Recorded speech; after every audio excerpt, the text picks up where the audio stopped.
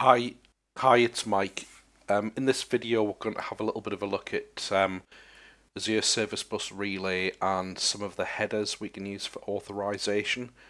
So in this um, video, I'm going to extend the stuff we did in the last blog post with uh, Minecraft, calling through to Azure Service Bus Relay. Um, and I want to just share a few things I learned when I was chatting to Josh Twist and Santosh um, who work for Microsoft just for a little bit of help about the um, the service bus relay, and I kind of learned a couple of things that I, I wasn't aware of already, and I just wanted to share those because I don't think they've been um, discussed in, in any real detail on on any blogs or articles I've seen.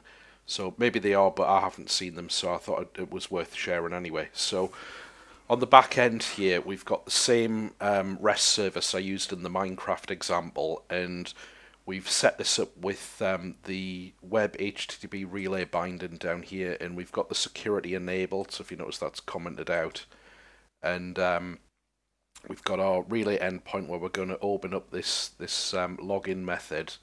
And you can see I've got my token down here for my my listener, and the service itself. In the Minecraft example, we were using the authenticate method, but I also had this ping um, web-get operation, which was just letting me do a bit of troubleshooting when I was developing the solution. So I'm going to use this one in this example, and basically the implementation for this is going to call through and what I'm going to do is I've, I've changed what it did from the original scenario so I'm going to read the incoming headers and I'm just going to write to a string builder to include the value of the authorization header and the value of the service bus authorization header which are two different things and then the, the method's going to return that string and we'll be to have a look at what it says.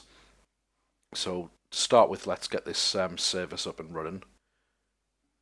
And we'll open that up so it's listening on relay while we um, while we take a look at the client code.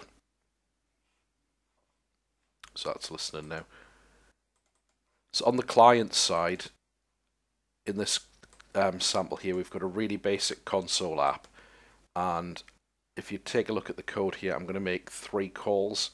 So I'm going to call the relay with the authorization header, relay with a service bus authorization header, and then relay with both headers being used. And you can see I've got my um, my details for the, the relay here with my SAS key and SAS key name and, and the address.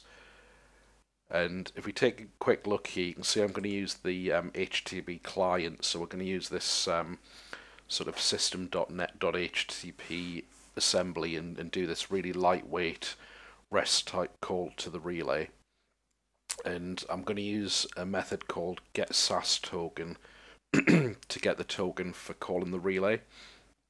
And you can see further down I've, I've just taken this code from one of the online samples. So we're going to create the SAS token with our resource URI, set an expiry date, and then just configure this string which service their service bus will validate.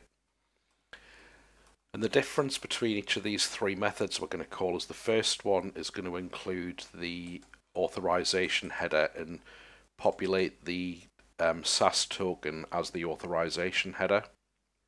And then we're going to make the call to service bus. The second one is going to use this different header called service bus authorization and we're going to set the SAS token to be that header instead.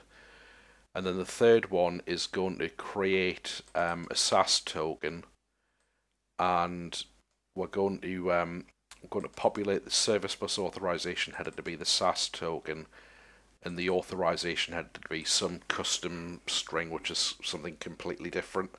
And the idea being, if um, if you were going to supply a second token, then you might you might have got your second token from some application specific authentication source and you could flow that through to your back end service, whereas the the service bus token would be validated just at the service bus level.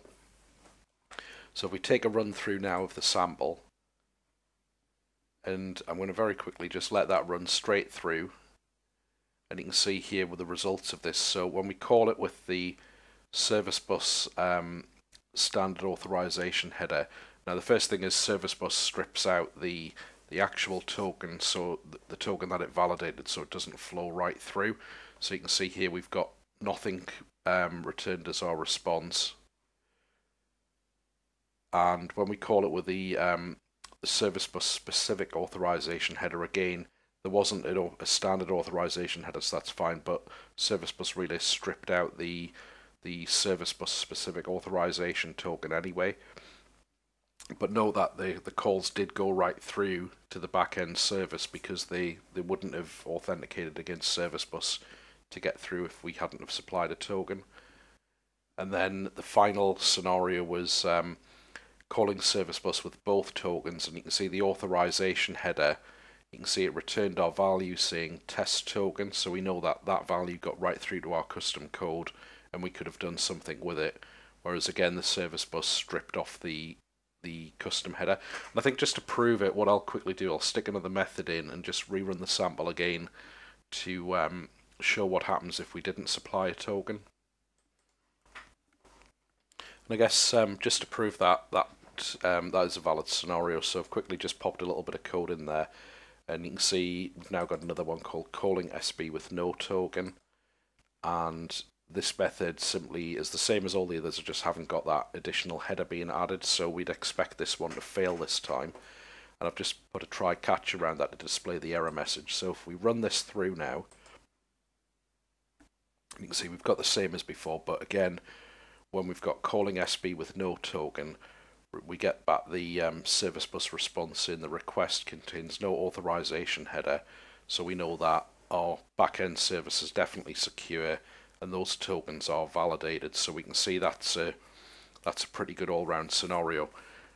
Um, so hopefully this video was useful. Quite a short one today but it just kind of digs a little bit deeper on some of the options available when you're using service bus relay with um, WCF REST as the back end and you want to supply some security tokens. Thanks